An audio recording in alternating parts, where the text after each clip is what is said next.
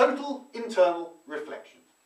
When light travels from a more dense medium into a less dense medium, it is refracted away from the normal. So here we've got glass and air, and the light rays coming from the glass into the air. Now, as this wavefront comes in, this bit gets out first, so it speeds up, and this tends to bend the light ray away from the normal. Here comes the wavefront, gets into the air, it speeds up, and so it's bent away from the normal.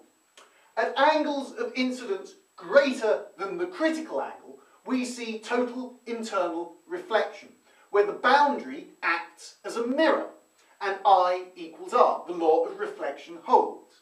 At the critical angle, the light ray is refracted along the boundary. So this is the critical angle here, okay? So here we're seeing refraction, we're being bent away from the normal. There will come a point where you're bent so far away from the normal that you're actually being refracted along the boundary. Here we're getting bending away from the normal. There's more bending away from the normal. Now here you see that we're being refracted along the boundary.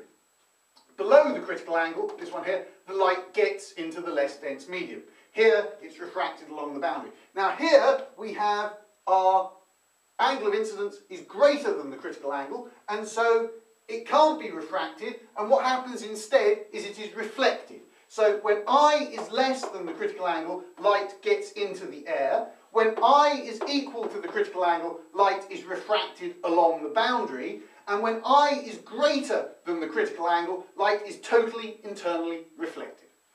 And I equals R. Thank you.